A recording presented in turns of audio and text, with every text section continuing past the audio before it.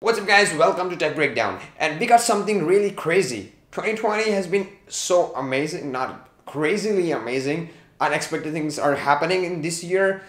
There is something. The iPhone just launched the iPhone SE2, which is probably you need to know about something.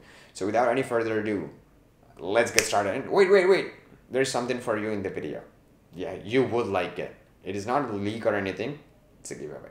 Let's get started. Welcome to the tech breakdown. So 2020 is really weird actually.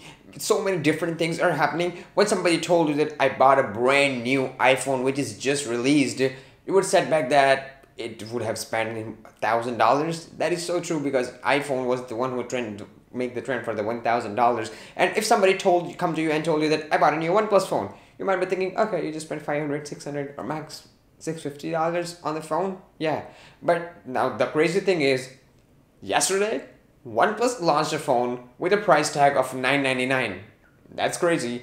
And today, iPhone launched a phone, the iPhone SE, with a price tag of $399. That is so weird. But iPhone 9 is actually amazing, a really good smartphone. Because you know what is the difference? iPhone SE is housing the same body as iPhone 8. We are having front and back glass with aluminum casing around it. And it is so much same as the iPhone 8. So a closure is almost iPhone 8 with the 4.7 inch IPS LCD display which we hope from iPhone 8 that is so true but front and back glass is so awesome another thing which we're having is the wireless charging IP67 water and dust resistancy. So we are having some premium features at a price of $400 uh, which we're not getting even in the OnePlus 8 which cost double. It's 699 or 799 so it is cost much more. We are not getting in OnePlus but we are getting in iPhone. That is crazy. But another thing is it is packing the specification of the iPhone 11 Pro, 11 Pro Max, the bigger brother. So we are having A13 Bionic chip, which is faster. The camera is 12 megapixel back single camera, which is going to be recording at 4K 60. Yes, supports 4K 60 due to that A13 Bionic chip, and it also supports the extended dynamic range, which iPhone whole series 11, 11 Pro, 11 Pro Max are having. But the limitation is it record up to 4K 30. So that doesn't that is not a huge drawback. But hey, it's there.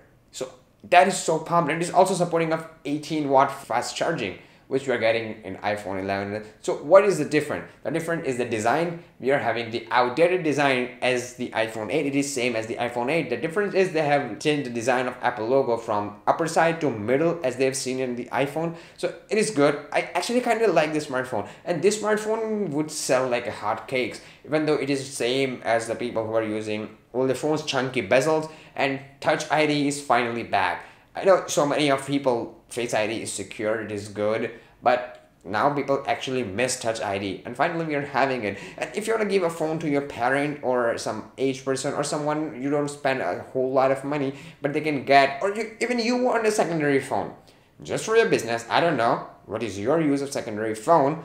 Maybe you have a good Android phone, maybe Note series S20 Ultra, which you just bought, which you just smacked $1,300, $1,400 in useless thing you want an iPhone which performs good, but you don't want to cash in a whole pile of money, you can go for iPhone 8. And it is it is having all the features except design. Oh, I can live with that. And about that giveaway, if this video hits 5,000 likes, I know it doesn't hit 5 likes at all, but suddenly let's say if it hits 5,000 likes, I would be giving away the iPhone SE2. But the condition is actually after the COVID-19 pandemic is over, Results will be announced after that if it hits 5,000 likes. So stay tuned, like this video. I'll catch you guys in the very next video. Peace out.